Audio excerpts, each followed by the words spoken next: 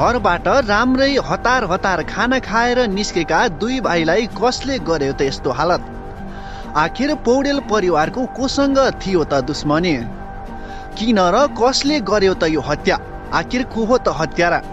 यो सबै जान्नको लागि भने भिडियोलाई अन्तिमसम्म हेरेर साथ दिनुहोला। दर्शकबिन नमस्कार। तपाईँले हेर्दै हुनुहुन्छ गाउँले खबर टिभी। गाउँले खबर टिभीमा तपाईँहरूलाई स्वागत छ। यदि तपाईँ अहिलेसम्म हाम्रो च्यानल सब्सक्राइब गर्नुभएको छैन भने कृपया सब्सक्राइब गरी हामीसँग जोडिनुहोला।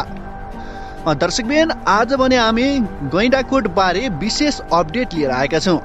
गैँडाकोटमा पछिल्लो समयमा दुई भाइको एकाएक मृत्यु रहस्यमय भएको थियो। यसै घटनालाई आज हामी के हो त वास्तविकता भनेर लिएर आएका छौँ। भिडियोलाई भने अन्तिमसम्म हेरेर साथ दिनुहोला। दर्शकबिन सक्दो सेयर गरी हाम्रो मेहनतलाई एक लाइक गर्न नभुल्नुहोला। दर्शकबिन केही दिन पहिला गोइडाकोटमा एकै घरका दुई भाइ हराएका थिए। परिवारले खोजी कार्य गरेपछि उक्त दुई भाइको शव खोलामा भेटिएको थियो।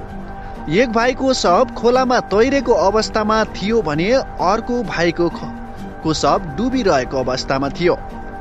ती दुई भाइले घरबाट निस्किँदा आफूले राम्रो कपडा पनि नलगाएको र मोबाइल समेत नलगेको कुरा परिवारले बताएका छन्।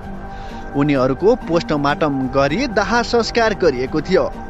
डाक्टरका अनुसार उनीहरूको मृत्यु प्राकृतिक तरिकाले डुबेर भएको हो भनिएको छ।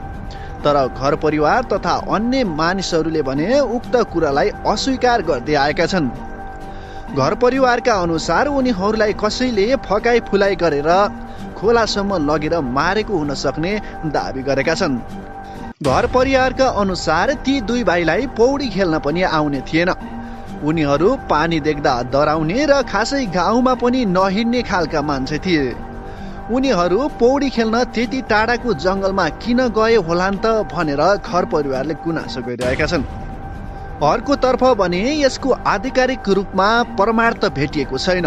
तर केही यस्ता तथ्यहरू छन् जसले उनीहरूको प्राकृतिक तरिकाले निधन नभएको र अरू कसैले नै हत्या गरेको हुन सक्ने यस्ता खालका प्रमाणहरू छन्। जस्तो कि उनीहरू गएको ठाउँमा धेरै टाढा थियो उनीहरू पौडी खेल्नको लागि मात्र दुई भाइ जान नसक्ने अवस्था थियो। उक्त घटना घटेको स्थानमा तिनवटा पाइन्ट भेटिएको थियो। तेस्रो पाइन्ट कसको थियो त्यो पनि अहिलेसम्म खुल्न आएको छैन।